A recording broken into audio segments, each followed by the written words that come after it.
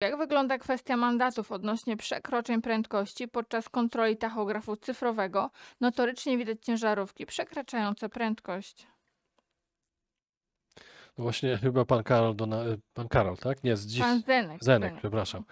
E, Dołączył chyba do nas później, bo e, od początku programu właśnie był ten temat wywołany e, i rozmawialiśmy e, na temat karania na podstawie zapisów tachografu. Ja nie widzę żadnych przeciwwskazań, bo przepisy metrologiczne przewidują taką sytuację. Natomiast to, że mm, w komentarzach pojawiały się e, informacje mówiące o tym, że gdzieś tam sąd uchylił, sąd brał różne inne okoliczności pod uwagę. I jeszcze raz przypomnę, że wyrok sądu nie stanowi wykładni prawa. Jest to jednostkowo rozpatrywana sprawa.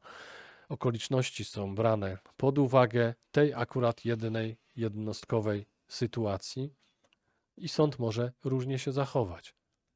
Ale generalnie ja nie widzę przeszkód do tego, żeby służby kontrolne korzystały.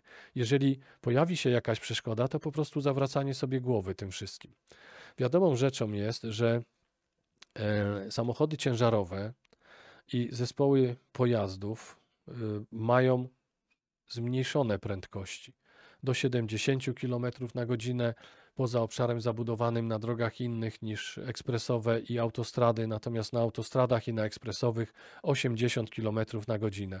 Ogranicznik prędkości zamontowany w pojazdach ciężarowych ma ograniczać prędkość na 90 km na godzinę, czyli już więcej niż przewidują to przepisy dotyczące dozwolonej prędkości, maksymalnej dozwolonej prędkości w naszym kraju. Do tego dochodzi jeszcze błąd tolerancji ogranicznika prędkości plus minus 3 km. To zdarza się, że ciężarówka nawet 93 km na godzinę jedzie. Zwróćcie też Państwo uwagę e, na. Szczególnie powinni zwrócić tą uwagę mm, kierowcy, którzy nie jeżdżą ciężarówkami ani autobusami niespełniającymi dodatkowych warunków. Infrastruktura drogowa w naszym kraju, owszem, poprawia się, ale są jeszcze zaniedbane rejony.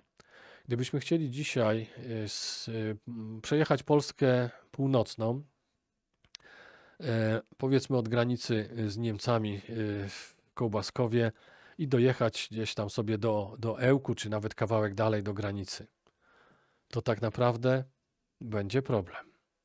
Mamy kawałek S6, no ale on się tam kończy zaraz za Koszalinem i i trzeba później się już przedzierać po, po drogach, które nie możemy nazwać drogami szybkiego ruchu.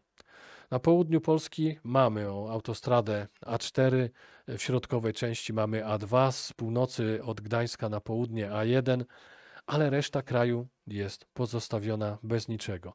I teraz kierowca, który wykonuje te przewozy ciężarówką, ma tą ograniczoną prędkość do 70 km na godzinę, więc on nie będzie się stosował do tego. To widać za każdym razem, kiedy jedziemy. Oni jadą tyle, ile ogranicznik pozwala, więc prędkość nagminnie jest przekraczana przez kierowców y, samochodów ciężarowych.